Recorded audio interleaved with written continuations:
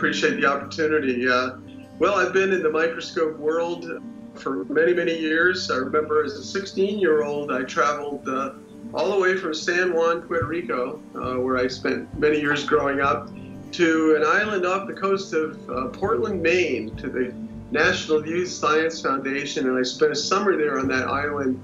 Uh, working with microscopes and looking at planktonic algae, and uh, so that's when I got bought, a bit bit by the microscope bug. And uh, at the University of Florida, I studied plant pathology, which uses a lot of microscopes. And uh, then I went into a career in microscopy um, for many years, and then uh, went back to school and got my master's degree uh, in, in parasitology. I studied under the late uh, Dr. Richard Lumsden, who was dean of the graduate school at Tulane University and uh, a world-class microscopist. Um, his papers uh, still referenced to this day, written in the 60s, late 60s and 70s. So that was quite an education. And then, um, uh, then I went back to school to Liberty University, graduated out of the doctoral program at the School of Education with educational specialists. So, um, but I've spent many years working for microscope companies. I worked for Carl Zeiss, for Olympus, for Reichert, uh, and others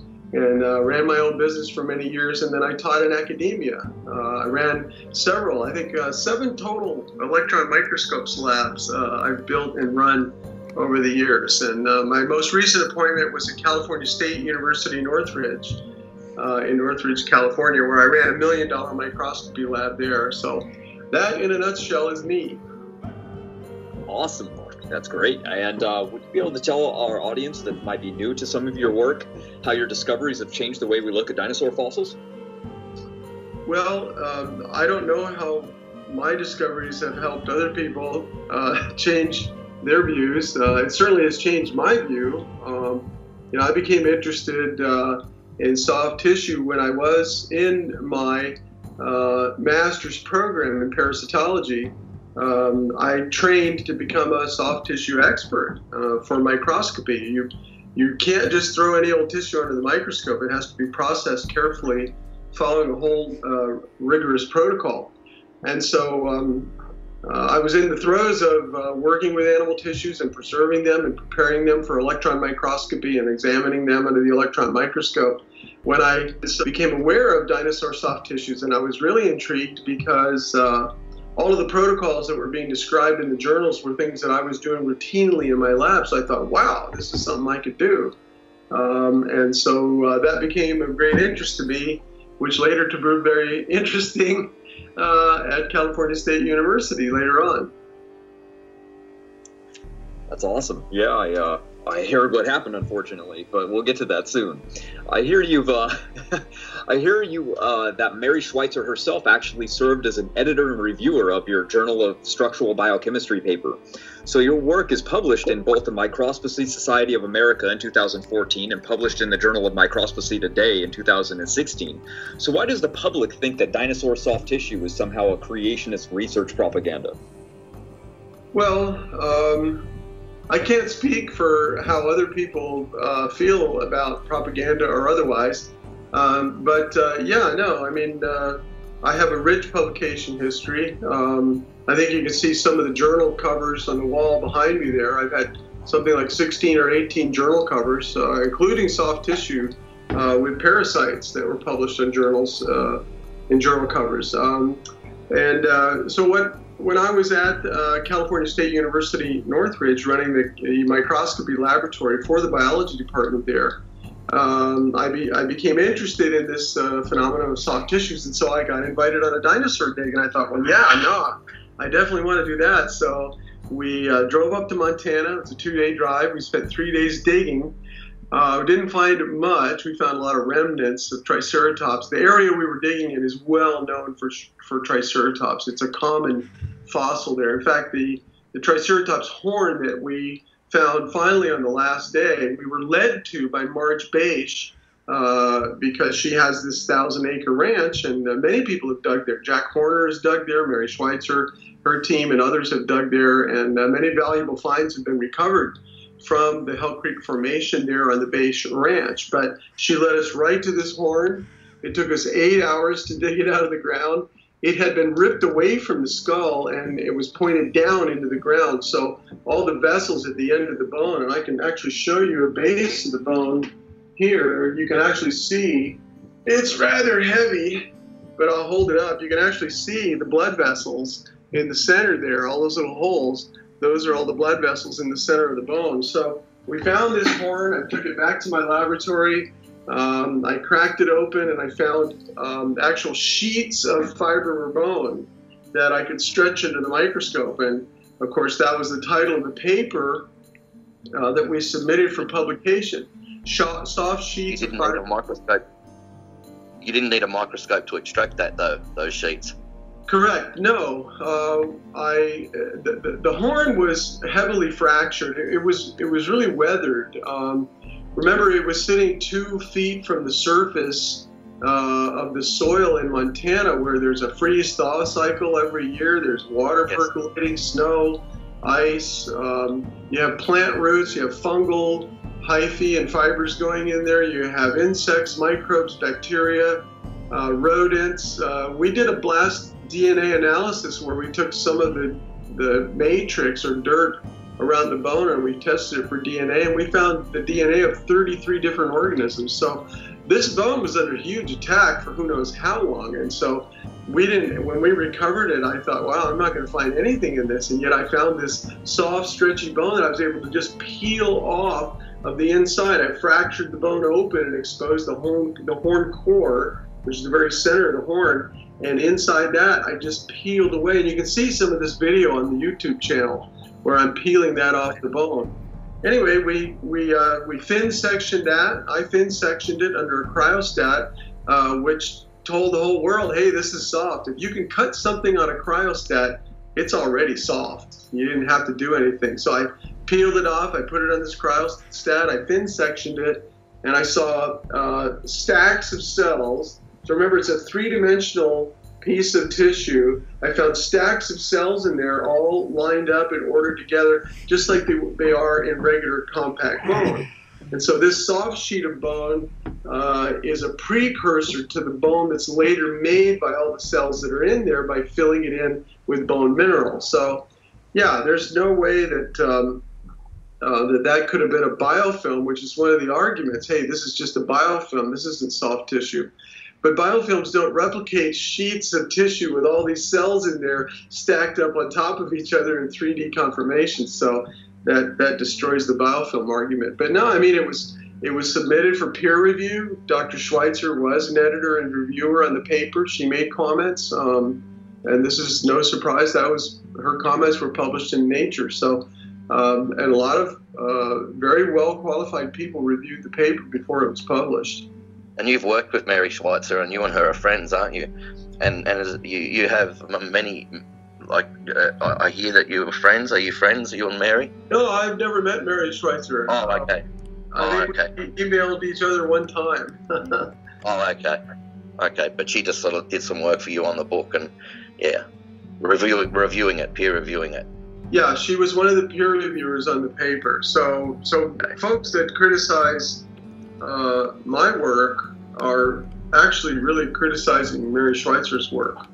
Yeah, yeah, yeah. Mary, I mean, I like Mary Schweitzer and, and, uh, and, her work. I don't agree with her conclusions, but I like her work. And, and that iron preservation, that was a uh, that that um, you gave a rundown on that and why. Uh, could you explain?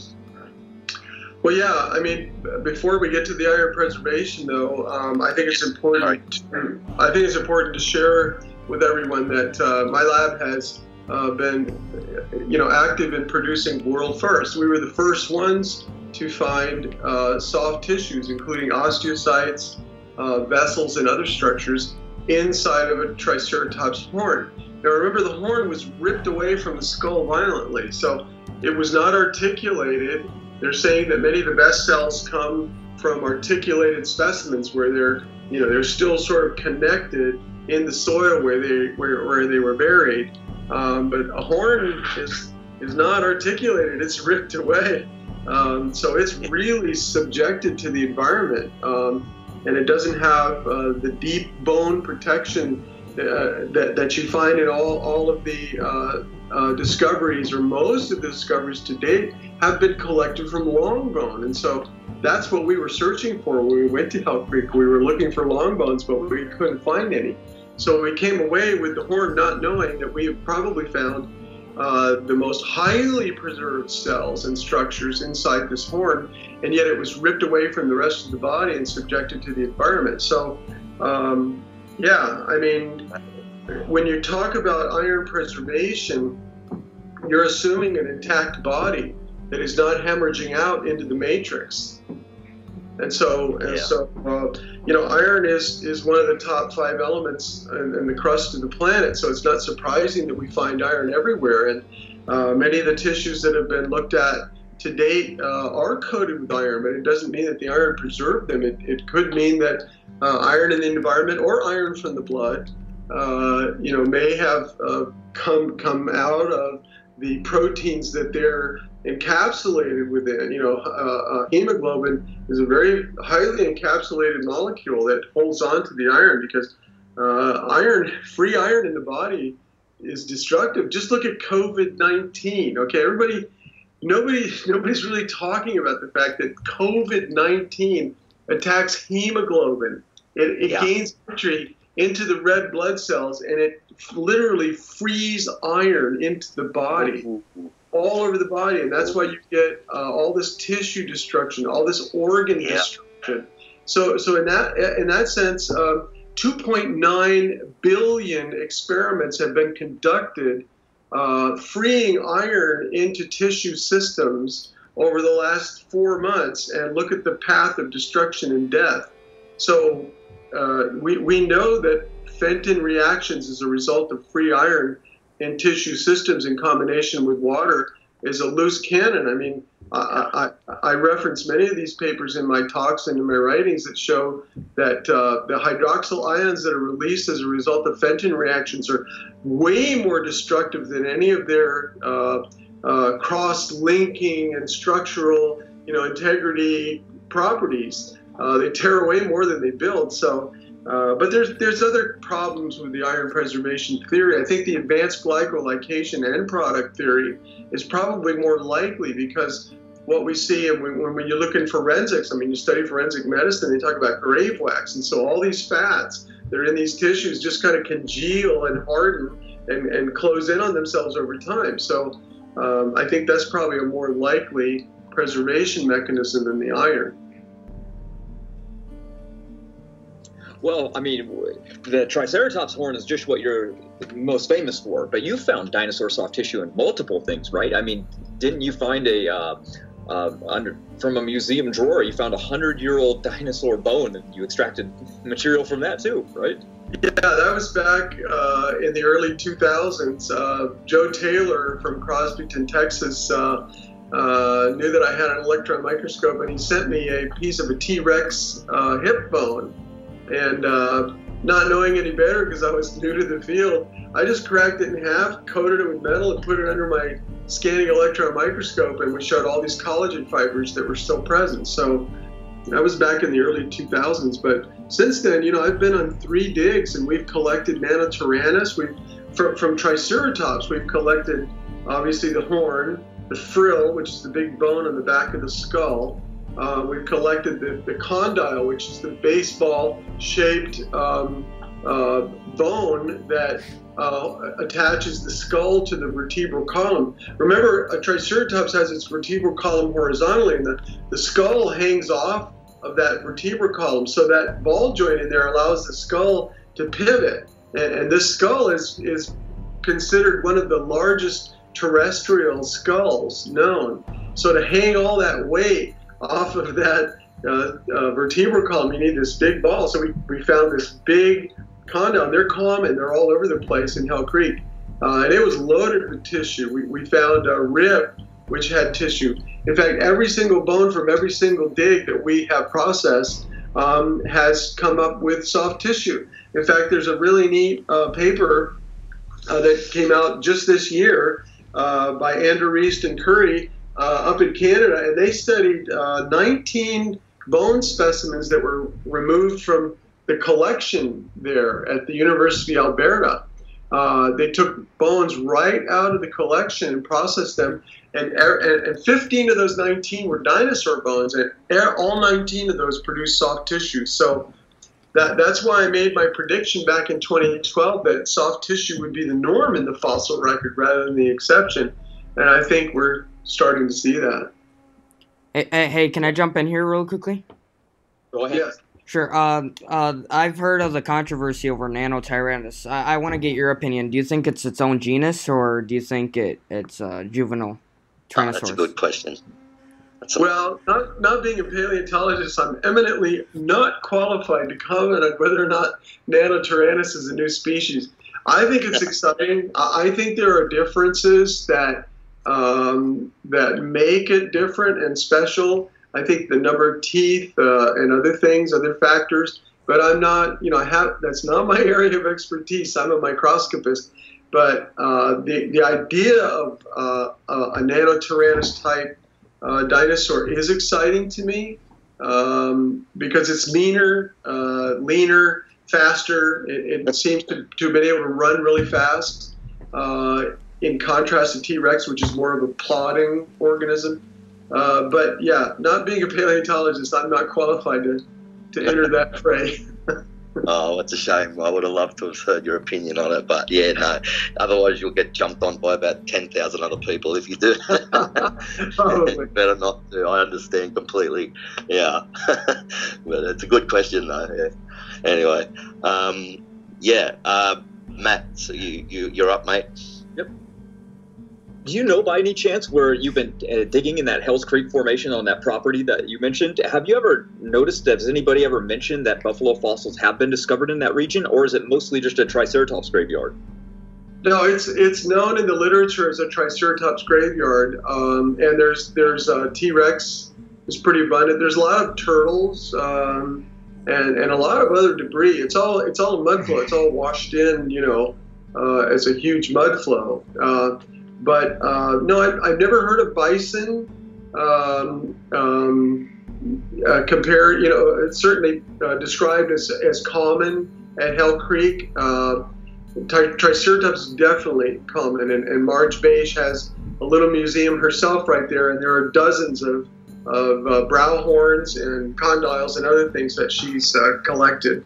But um, yeah, I don't I don't really understand the comparison to the bison horn because the bison horn, as far as I know, uh, is a hollow sheath. I mean, it's basically a keratin shield that uh, is left after the bison expires. Uh, now, we do uh, believe that Triceratops horn, horns were covered in a hard sheath, uh, but none of that ever survives. You, no one has ever found the keratin sheath from a Triceratops horn. Um, you, you, see sometimes the black remains of it. It's kind of a powdery, almost carbonized remains, but uh, no sheath has ever been found. But as I as I shown to you, I mean, the, the Triceratops horn is solid bone. I mean, it's just a solid chunk of bone uh, through and through. It's it's mostly compact bone, and the trabecular bone is only here in the center where the vessels are. So, um, yeah, I, I don't really understand the comparison between the bison horn and the triceratops horn. This thing was 46 inches long, by the way. I, I, don't think, and the girth, the girth on it at the bottom where we found it in the ground was about 12 inches. Right now, this piece is about nine inches in diameter. Well, I think when the critics are comparing the horn in size and shape, they're they're looking. They just show one picture of a particular Triceratops. They don't actually go online and look at all the massive varieties of different horns that are in Triceratops. Right? The species yeah. is huge. Yeah, no, you make a really good point, and there's also uh, you know ontogenic progression. So we see as a, as an organism ages, you know, uh, the, the, the horns actually change angle over time uh, as they lengthen and they bow more over time. So um, there is variation, high variation, which uh, shouldn't be mistaken as different species. There's changes in these bones over the lifespan of the organism.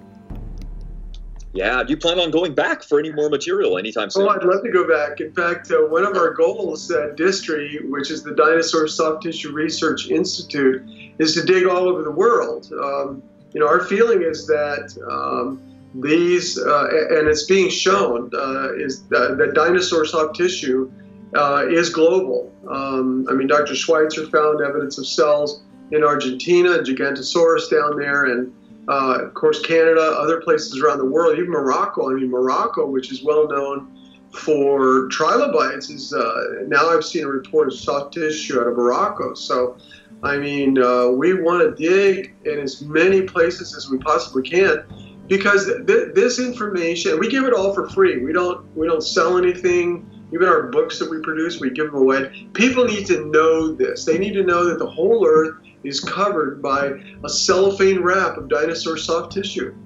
Um, this has tremendous implications for life and society. Um, and we believe people need to know this.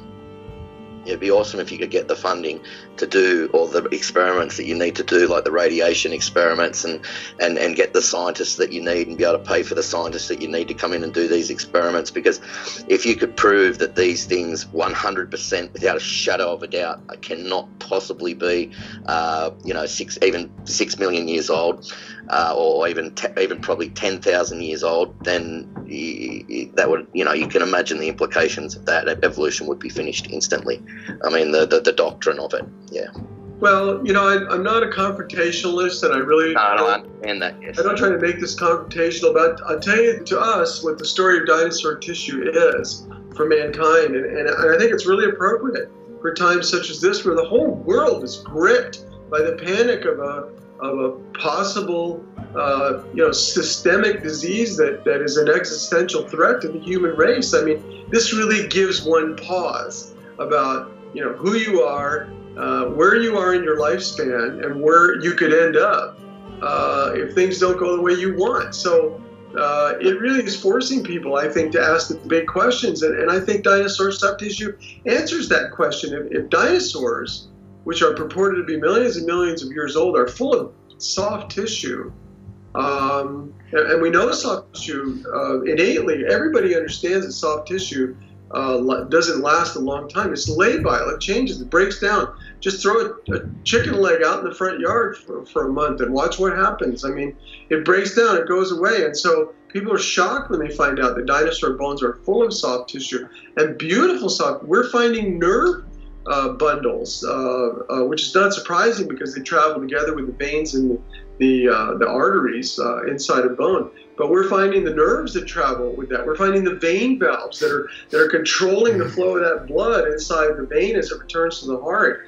I mean, uh, people innately understand that if these tissues are there, they cannot be that old. Therefore, therefore, this validates the the Genesis account of the global flood. I mean, it says, yeah, all this stuff was buried at one time. Even the Permian stuff that we're looking at looks even more preserved. I probably shouldn't be talking about it, but that's something that we're working on. So, I mean, as far back as you go in these specimens, you know, we, we, we uh, Jim Solliday, uh, one of our um, uh, scientists here at DISTRI, uh, he found blood cells in a Devonian lungfish vertebrate uh, uh, slide. And so just recently, Dr. Schweitzer found chromosomes. You know, here in December 2019, she's discussing uh, mechanisms of preservation.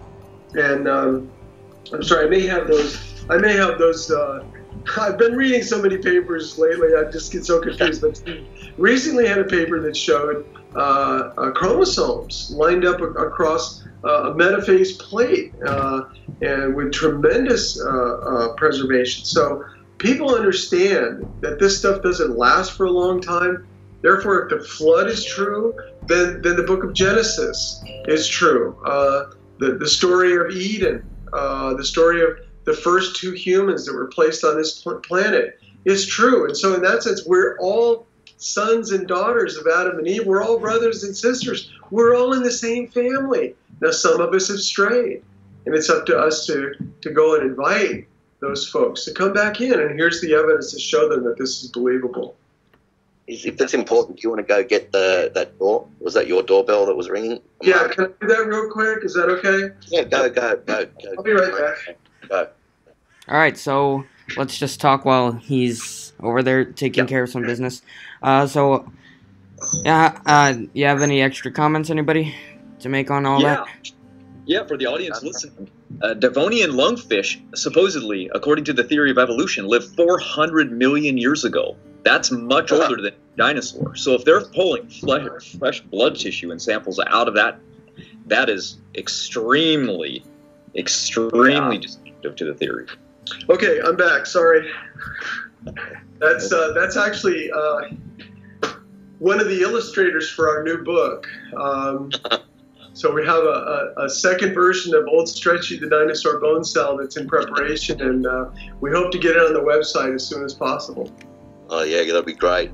I want to. I can't wait to get the other book. I'm going to get that as soon as I can, as soon as this COVID nineteen lockdown is over, and we can start getting things from overseas again. I'm buying it straight away.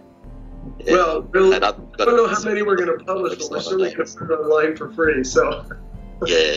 No, I'm, I, I want the paperback. Yeah. yeah, I noticed you had a book like on your website, a paperback. Um, I think yeah, I don't know. I think there was. Is there a paperback on your website? So uh, there was one book on there that I saw. well, it's, it's a PDF, so you can download it, you can print it yourself, or you can Oh, take it PDF. to Scopus or something and, and have it printed. Yeah. Oh, Or okay. just Oh, I just see. transmit it electronically. People can read it on their computer as a Not PDF. free. Yeah. Yeah, totally free. Okay. All right. Yeah. Okay. Sorry. I got a question for you. Have you ever tested any uh, Denisovian or uh, Neanderthal bones or fossils by any chance? No, I've only worked uh, mostly with Triceratops, Neanderthals, T-Rex. Um, I have been working with other organisms of late, but uh, it's too early to talk about those. But um, no, I've never worked on. Actually, I did. I did work on one human bone. It was the same publication that talked about the um, uh, that, that demonstrated the collagen fibers in the T-Rex uh, hip bone, and that was uh, Moab man uh, or Malachite Man. Uh, Joe Taylor sent me a sample of that also, but that, that's the only human bone that I've ever worked on. Uh, fire away, guys, if you have any more. Well, why don't we talk a little bit about the iron preservation theory, maybe a little more in depth, and, and some other things that we're considering.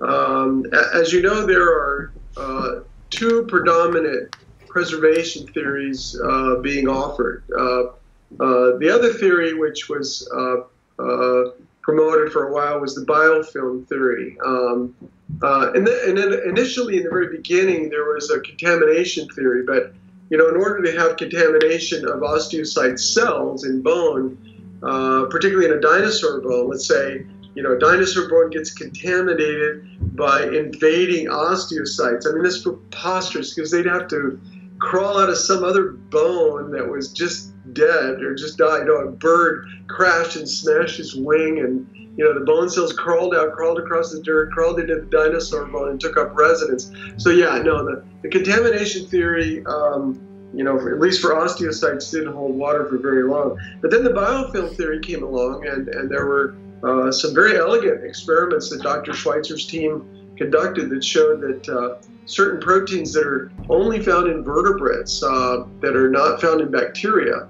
uh, because biofilms are uh, the remnants of bacteria. It's sort of a uh, sugary goo that they produce to inhabit while they're colonizing uh, an area. Um, and, and the theory was that those biofilms uh, later on, you know, became the osteocytes, which we talked about previously. It's impossible. But, but certain proteins were found, like uh, actin and tubulin and histone, which are, are DNA wrapping proteins. The DNA molecule gets wrapped up and forms these X's and Y's that we see. And those proteins that wrap up uh, DNA, histones, uh, were found by Schweitzer's team in the T Rex. So uh, there's been some very sophisticated work done showing that the original, or what we call endogenous molecules, are still present. Um, but um, uh, in terms of preservation, um, the only examples that have been offered are the iron preservation theory, and there's a specific terminology for it. Um, I wrote it down somewhere, but uh, let's see if I can remember it here. Uh, transition metal catalyzed intermolecular cross-linking of structural proteins. Okay, what does that mean? That means basically that iron is freed from the blood cells or some other source. Uh, there's a lot of iron bound in ferritin, for example. So somehow the iron becomes free, and when it comes in contact with oxygen in water, it produces hydroxyl, hydroxyl radicals, uh, which are like scrubbing bubbles. I mean, if you picture spraying, you know, a bathroom, a, a shower stall with scrubbing bubbles, you know, it foams up. And so I kind of picture uh, the iron coming out of the blood uh, into the into the blood vessel. Uh, you know, the, the air is in there because the, the, the body's decomposing and water is infiltrating. So all these scrubbing bubbles are forming, and they're going, going through and chewing up the tissue like Pac-Man. And a lot of papers show that. And so, but the thinking is that somehow these hydroxyl radicals go into the structural proteins, the collagen fibers and the elastin fibers that are in the vessel. And that's what this paper is, is discussing. It's not discussing the osteocytes. This is only discussing vessels because the osteocytes have a whole different anatomy. Uh, they have the phospholipid bilayer membrane. You know, the, the cell membrane is basically a fatty layer. And so uh, hydroxyl radicals uh, chew that up like butter. And so cells just uh, are chewed up by hydroxyl radicals very quickly. So, so they're, they're making progress trying to explain the preservation of vessels uh, through this cross-linking. But one of the big problems is that uh, only every third or fourth um, amino acid in these proteins is cross-linked with another amino acid. So, so you have those remaining three or four in there that are going to decompose through autolysis over time. In fact, Mary Schweitzer very early on commented that autolysis is a really difficult thing to get past because it starts immediately at death and cells just disintegrate as a result of autolysis. So, you know, as a tissue processing expert, I don't know why these cells are still here, but you can't explain their preservation based on Fenton reactions in hydroxyl ions going through and cross-linking proteins. It's just going to chew up the cells. The other uh, preservation motif that's offered is this degradation that we talked about about lipids uh, into advanced glycation end products. So, uh, other than those two things, there's nothing proffered by anyone that can explain why these soft tissues are not completely disintegrated, even as you say, after 10,000 years. You mentioned yesterday, I think, before I butchered the uh, the actual stream, is that uh, somebody actually found brain tissue. Is that right? Um, did I mention that yesterday? Because I don't recall. I, I, don't. We have found neural peripheral nerve tissue, of course, but it's uh, it's really not peripheral because it's traveling in the bone. But we have found nerve tissue in the bone. But um, I know that they've tried to reconstruct a lot of the brains by injecting, uh, you know, uh, epoxy into brain case uh, spaces. But I don't. I don't know. Have you read a report about brain being found in dinosaur? Uh, I believe so, but I'll have to check back on that. It was a it was a while ago now. Um, so, do you ever suspect that uh, full preserved DNA will be found? Do you think we'll be able to make a Jurassic Park in the future? No, I don't. I think there's too much degradation. I mean, DNA remnants have been found, and Dr. Schweitzer and, and uh, ourselves, we've replicated some of that work. In fact, the vein valves that uh, we found from the veins uh, from the Triceratops bone uh, do react to an intercalating dye, uh, uh, acridine orange, which is a, a, nuclear stain. It, what it does is it goes in and it, it goes into the double helix or the single helix and it attaches there. So RNA or DNA is marked by this stain and it glows red under fluorescence, but um, um, we haven't done any immunohistochemistry. Um, uh, but that, there's a lot of potential for uh, finding of these specific proteins with immunohistochemistry. That's one thing that we'd like to do with the lab. And let me take a minute, if I can, to just talk about DISTRI. Uh, the Dinosaur Soft Tissue Research Institute is a nonprofit organization that is chartered uh, in Texas, and um, it, th- this is not about the people who are running it right now. This is about the people who are going to come along uh, in the future and turn this into a real bona fide brick and mortar laboratory where dinosaur soft tissue can be studied uh, at length and at leisure, uh, depending, of course, on funding.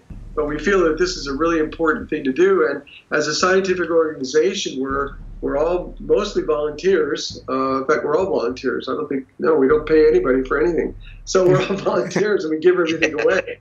Uh, so we are completely dependent on uh, the Lord's uh, provision for us, but if donors want to step up, we have a wonderful charter set up. Uh, um, we're, we have IRS uh, 501c3 designation, and we're chartered in the state of Texas. So we have the ability to actually build a brick and mortar facility and uh, and continue these studies uh, for years and years and years to come. That's awesome. Didn't you say it's a good cause? Definitely a good cause. Um, sorry, sorry, Matt. Go Oh no, no. I was just going to say. I heard you say before too that you'll actually teach people what you do. You'll actually bring them in and instruct them and get, guide them. How would somebody go about doing that? Well, absolutely. There, there's a lot of talented, capable people who uh, can serve as microscope technicians or just paleontological technicians. Um, so yeah, it would be a learning center, and I, I'm teaching a group right now in Pennsylvania how to work with these bones and decalcify them and collect the tissues from them. So we envision really a cooperation with a local university where we could have uh, professors come in and uh, design experiments and conduct experiments and bring in students and technicians. Uh, uh imagine the learning that can go on in, a place like that where you have a local university or college assisting um, and publishing uh, gaining all that experience through publication. And then as the lab grows, we would have, you know, a, a, a radioactivity department where we're looking at carbon 14 or a taphonomy department where we're actually conducting uh, uh, fossilization experiments. Um, so there, there's a whole host of things that can be done and conducted and conceived of and used for education and, and outreach. Uh, and there are people in Hollywood who could write a check for $30 million. And that would be a great yeah. foundation. uh, yeah, it'd be very easy to start this and to bring in kind of capable people, the, the, the, uh, the principal investigators and scientists who would uh, run the organization. That's really easy to do. Yeah, it'd bring a lot of people to the Lord, that's for sure. Well, that's uh, also our goal. yeah. Without any doubt at all. That's, that's why this is so um, this is so earth shattering and foundational. Most people do not realize that dinosaurs have soft tissue in them.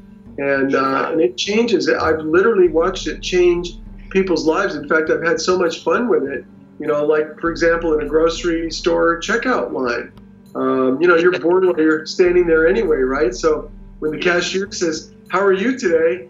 Uh, I say, I'm great. I went on a dinosaur dig, and suddenly everybody in the line is looking at me because everybody wants to know about a dinosaur dig, right? And so, and so I say, yeah, we found this 48 inch long Triceratops horn, and I do this with my hand, and then I, I say we brought it to the lab and we broke it open, and it was full of soft tissue, and I start squeezing, you know, the soft tissue in my arm, and and their eyes just get really big because they're starting to process the, the, the person who just said I found a triceratops horn and it was full of soft tissue.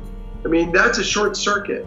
And, and you can cut right through all of this indoctrination that people have received and, yeah. and show them, you know, give them a book and show them the cells, show them the nerves and the things that, the vein valves and things that we're finding, and say, this can only be here because the flood was real. And, and you made a connection. You made a connection that could change that person's life for eternity. Yes and not just for eternity, and make their life better in this world as well. Yes, anyway, Matt, say something. oh, I actually got a question from the audience. They ask, uh, Nephilim Free said, Has anyone in mainstream science ever told you that they feel bad that uh, you and other scientists have been treated wrongly for your discoveries? You know, that's a great question, and I, and I have had interactions with uh, some of my colleagues from Cal State University Northridge. Uh, that, that was a fantastic position for me. It was a culmination of my career, um, and, and that's probably why so few people are, are studying dinosaur soft tissues because it can be a career killer, and it was in my case. Um, you know, I was at the top of my game. At the time, I was treasurer of the Southern California Society for Microscopy and Microanalysis.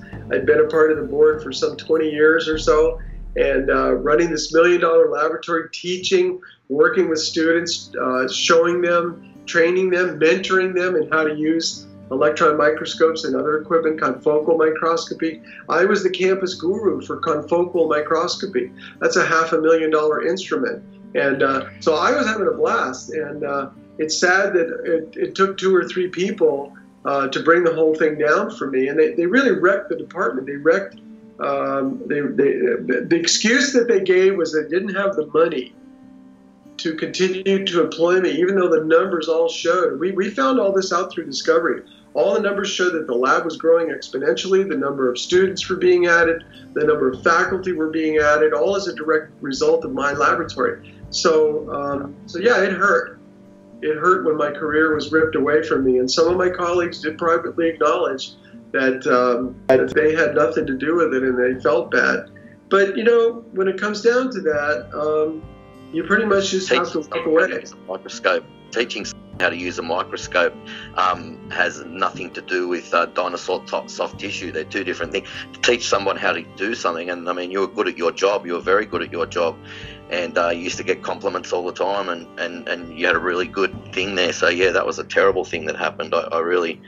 Um, but I'm glad everything worked out in the end, and, and you got through it. And and well, today it you feel and you know it allowed me to retire and devote myself fully to this work. And so uh, right now, I'm just uh, funding it as as the funds uh, come in, but it'd be really sweet to have uh, a couple partners, maybe maybe a group of partners to come in who have the financial wherewithal to uh, have the vision to to create the laboratory that really does need to be created. There's very few people working in this area. We think the work is paramount. and needs to be conducted, and soon, and the world needs to know about it. It does. It does. That's an awesome. Yeah. Okay, Matt. No, I think I'm going to have you ask some questions now. I mean, I, we're only down to about 12 minutes left, man. I think you should oh. ask. I... oh, well, uh, I, I it's okay. I won't put you on the spot. I'll, I'll ask a question that you think about yeah. some. How's that? Yeah, that's right. Yeah, okay. so, so, since we're kind of closing up, we're running out of time for you. Uh, we'll have to get you back on, I'm sure. But what are some of the newest discoveries that you're allowed to talk about that you think the that probably possibly coming out this year for people?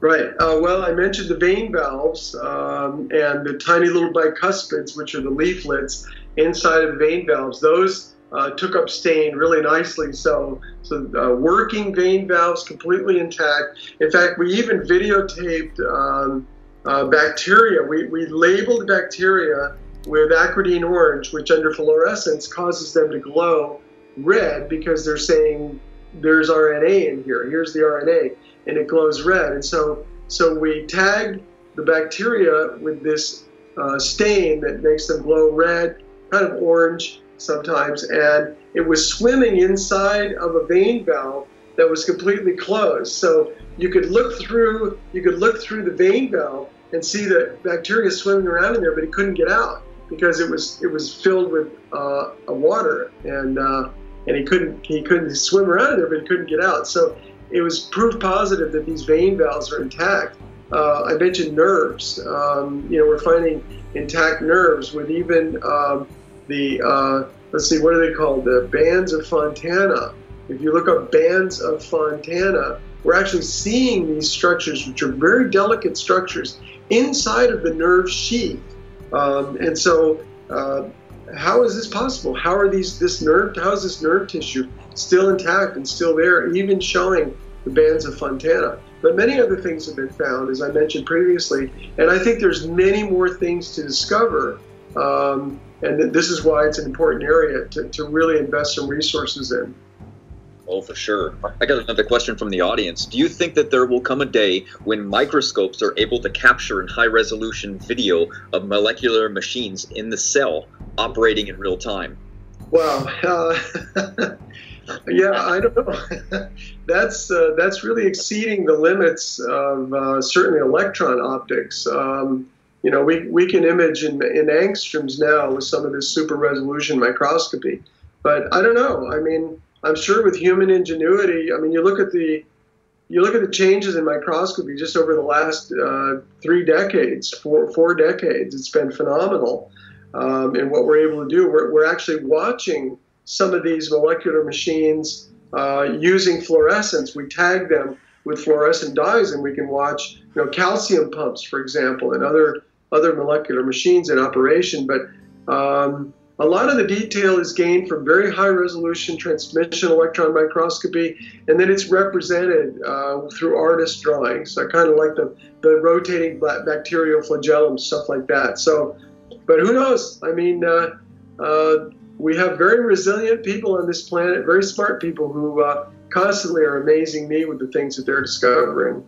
Oh, the nanobacteria. Did we ask about that? Did you mention the nanobacteria already? already? I think I really have no experience in nanobacteria, so I don't think I'm. One of your videos that you saw two nanobacteria completely encapsulated and trapped inside of a, in trapped inside of a, uh, a bubble or, or something. I think that was one of your videos. Was it, or maybe uh, it wasn't? I'm not. I'm not. It's not ringing a bell with me. I'm sorry. oh, okay. All right, no, it might not have been. It might have been something else. But uh, yeah, it was was it was completely encapsulated, like it couldn't get in or out. You know what I mean? It, there's only one way it could have got in there was just you know like from from the beginning. And this nanobacteria, like when they, you know, sort of whatever they activated it, however that it activated, it, it came back to life, and it, but it was completely trapped within the soft tissue in this bubble. Like it just couldn't have got in you know what I mean? Like it, later on, or it couldn't get out and it couldn't get in, so it just proved that it went down. So these bacteria are alive inside of these things, and that's what I saw in a video anyway. I saw the little tiny uh, nanobacteria in there. Yeah, that's all. And right. I don't know who it was. Nanobacteria, yeah. but you know, you have to understand these these bones have been in the soil uh, and as I mentioned before, they're being attacked by everything in the soil. And there are organisms that are de- designed specifically to break down soft tissues. I mean, that's their role in life, uh, to return those elements back to the soil so they can be uh, reused. And so, um, uh, but I, I, don't have any experience with nanobacteria, but but oh, a lot of bacteria will. In fact, there's a really neat paper. Nanobacteria arthritis.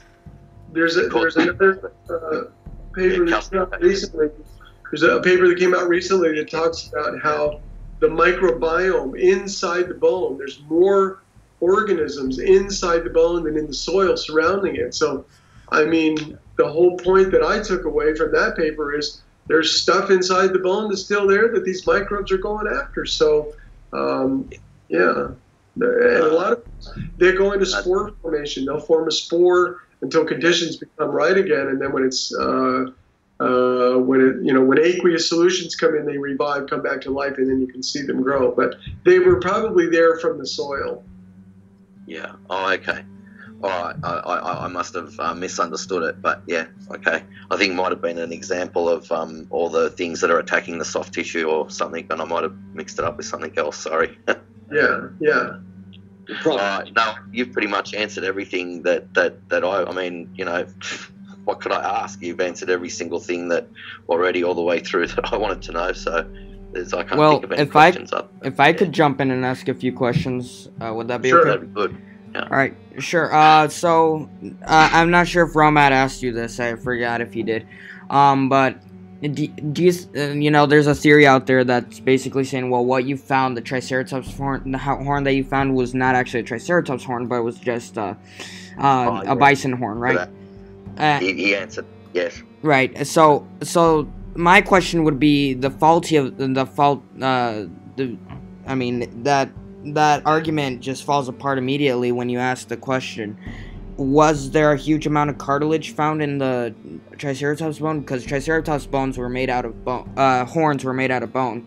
Um, and bison horns were made out of, are made out of cartilage. So there would do you think there would be like a huge uh, difference between the two? And cartilage also is very extremely hard to fossilize. So was there like a huge yeah. amount of cartilage in there? Well, uh, I didn't find any car- cartilage. Uh, remember, the bone was ripped away from the skull and jammed uh, into the dirt, and so um, the all the vessels were facing upwards, all the blood vessels, and so you know, rain and, and mud and you know insects and microbes, bacteria and fungal hyphae and plant roots and all that stuff just had its uh, free uh, you know field day uh, getting into the bone and decomposing it. You know, insects and um, microbes, but um, yeah. What, what was your question again? Sorry. yeah. Sorry. Uh, yeah. So, uh, did so the the question would, was basically if you found a huge amount of cartilage in there, that would pretty much prove that it was a bison horn. Right. But if you found bone, it would be a triceratops. Yeah. No, I found no cartilage. Uh, cartilage has been found. The um, uh, the recent paper by Dr. Schweitzer and her team uh, uh, they found uh, uh, these cells in cartilage. So cartilage uh, seems to persist uh, as well, although I can't understand how. It's it's much more labile than bone tissue, and so it's more susceptible to decay. Um, so, but yeah, no, cartilage is being found. I didn't find any in the Triceratops horn or in any of the specimens we've collected. They've all been solid bone. Okay, so yeah, the freeze. Sorry, go on. Uh, uh, no, I was going to ask a different question, but go ahead, Faithful. I was just going to talk about the freeze thaw cycle, but that would take too long. Go ask your question. No, it's, that's it's not important anyway. No, it's all right. We can get that from somewhere else. Go, Guzman, ask your question. Sorry, mate. No problem. Uh, so so uh, is the cartilage like from a dinosaur, or is it from a fossilized uh, bone? The cartilage that you were talking about, Mary Schweitzer found. Um, I believe it's from a dinosaur, but I'd have to look at the paper again. Uh, like I said, I've been reading so many papers lately that they're all swimming around no together in my head. So uh, uh, I'm pretty sure it was dinosaur, but it's it's also very old cartilage. So they have found it. It is it is being found. Okay, uh, you can go ahead, uh, faithful. That's that's my last question. Okay, the, the freeze the freeze thaw cycle um, in Hell Creek is like 50 times a year. It can get it can it can freeze and then and then and then uh, thaw out and freeze. And each time in these microfined cracks in the horn that the water gets into the microfined crack, it freezes and then it splits the crack open a little bit more, and then it thaws out and and and so on. And then more water comes in, it opens up more and more and more. Um, the fact that, that that horn was there at all uh, is just a miracle. I mean, you know, like 53's thaw cycles a year just blows my mind that it was just even wasn't in rubble, in, in wasn't gravel. Yeah, no, it's amazing. And, and like I said, uh, uh, Marge Bache, the ranch owner, was watching that horn for about 30 years. I mean, she'd been all over that thousand acre ranch. She grew up on it. Her family used to camp out in teepees uh, uh as they used the ranch for cattle uh, in her childhood. So she's lived all over that ranch and she remembers that horn. And uh, she led us there on the final day. And it is amazing that that thing uh, had anything in it at all. And some of the finest preservation. You know, I've been studying uh, these osteocytes. We, uh, a few of us have been photographing osteocytes and presenting those in the literature. And these are the bone cells. And the bone cells have these tiny little thread feet that come out from them because they all they all touch each other. Uh, once they make this this collagen carpet that they crawl onto, they all crawl, crawl onto the car- carpet that they make, and then they cement themselves in with the bone mineral. But they create these little tubes, and and they put little thread feet. They're called filopodia, and they touch each other. The cells come together and touch each other uh, in, in in all three dimensions. And so it's like a living network of bone cells and they actually they're so cool because they measure the compression the cracking in your bones as you're stretching and walking and lifting and running. And, and they do um, they do remodeling. They do what's called bone remodeling. And your entire skeleton is replaced some authors believe every 12 years because of this. So bone is constantly being remodeled. But um, now i mean uh, the fact that this horn was subjected to all of these environmental conditions like the freeze thaw cycle, uh, the radiation, radioactive. For some reason, dinosaur bones seem to collect, uh, uh, you know, radioactive uh, nuclides, and so they're in there uh, giving off radioactivity, and that's horrendous for soft tissue, as you know. So there are so many environmental factors that should have uh, rendered this bone completely disintegrated and yet it's full of all the things that we've been describing. And I'm sure we're going to find more things as we go along. What do you? What's it feel like when you hold it? Well, what's it actually like? It's very solid and heavy. Um, like, a rock. yeah, it, it, feels like a rock, but uh, and part of it did uh, permineralize. You know, all the water traveling down through the vessels hardened those vessels. So all the blood vessels are hardened. But we dissolved the bone you know, let's say you have a, blood vessel here, and, and this is all rock. Well, we dissolved all the bone that was around that, all the way up to the, to the vessel, and we found bone cells growing along the outside of the vessel wall in the bone, and they had some of the longest filopodia, which is amazing to me because if the iron preservation is going on in the vessel, all these scrubbing bubbles are coming out. It should have chewed up any vessels that were uh, intimately associated with the bone. But these seem to have the, the longest filopodial lengths. So yeah, it's it's really a conundrum as to why these tissues are still here, particularly in the Triceratops specimens that we found. They're not long bones. Yeah. Wow, that's, that's amazing. amazing. And, and and that's what I was. Uh, that's actually what I wanted to ask you. That's my next question. If the whole fossil is permineralized, um, but basically it was partially permineralized, but it just the vessels were covered in like this fossil, and then you were able to disintegrate that fossil to get to the vessel. Uh, no, well, we did we did find vessels, uh, intact vessels uh, in in the um, Triceratops rib. We cracked those open and put them under the electron microscope. And the paper, the, the uh, paper in Acta Histochemica, which I have here somewhere, uh, and it's available online. It's available on our website, and you can look at these these pictures uh, from the paper, and it shows what the blood vessels look like. Even the insides of some of the blood vessels had crystallized blood products in there. And so, yeah, the vessels were completely hardened into rock, but all the surrounding tissues were still soft. And we were able to, to liberate these into solution. And so uh, you look at the Microscopy Today paper and also the paper that was uh, not only published for the Microscopy Society of America, but I presented that paper. Uh, that's just the proceedings that you read. I presented the paper at the meeting in Hartford, Connecticut, and um, a lot of the uh, a lot of the PhDs were just shocked by the things that they saw in my presentation. Wow, yeah, that's amazing. Okay, sorry, Matt, you got something to say? Uh, no, I was just giving Guzman a chance, but uh, we're kind of running out of time with you here. Uh, unless Guzman wants to have a couple more questions, we can. I just want to let the audience know that uh, you have a YouTube channel yourself, and how they'll be able to contact you, how they'll be able to find your channel and get a hold of your work. So, um, Guzman, yes. and let any questions. Well, let me just talk about uh, the resources because we do have the YouTube channel. It's just Mark H. Armitage. You can go onto YouTube and search Mark H. Armitage, one word. Uh, and all the videos are there from uh, way back in 2012. In fact, the very first video that shows up is me sitting at a microscope grinning because I actually just found that soft, stretchy fiber film uh, in the horn. And I was just grinning from ear to ear. And so I ran and got the camera and set it up and recorded everything right away. Uh, and you can see me change through time uh, as you watch the videos. I think there's 60 or 70 of them now. But uh, I wanted to leave it all up there so you could see the whole progression in history of what happened, um, and, and, especially uh, how we grew into the Institute and how we're moving forward today.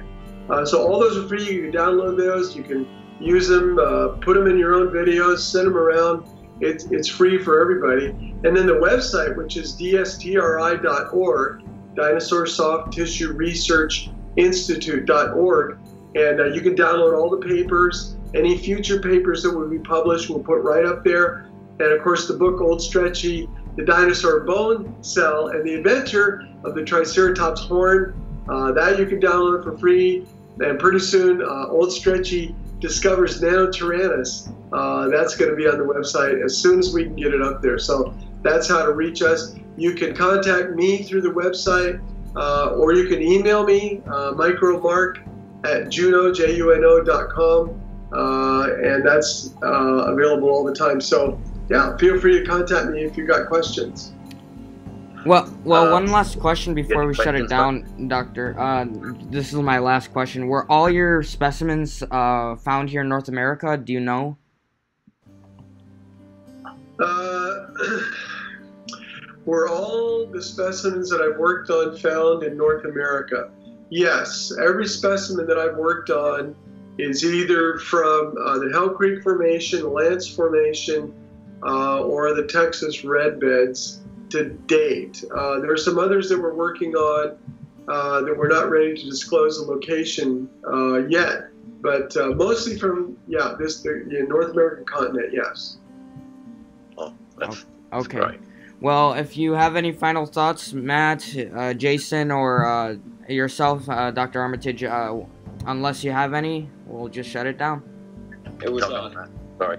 I was just gonna say thanks. Uh, we that hour went quick. We are trying to cram everything in there. I see another question from the audience. If you wanted to answer, if you have time, did uh, Sure. some pods have feathers? Was the question. I'm sorry, could you repeat the question? Oh yeah, did some theropods have feathers? Well, of course, that's claimed widely in the literature. Uh, I have not studied it uh, personally myself, um, so I'm really uh, not qualified to to answer uh, that. But it is reported widely in the literature, so I think it's something to, to look at carefully. Uh, I know that there. Uh, I remember hearing uh, some charges uh, against the methodology that was used to show those specimens in the very beginning, but I really haven't followed that controversy, so I can't speak expertly on that area. Sorry. Problem. I understand. Um, Jason, would you like to say anything or close us out?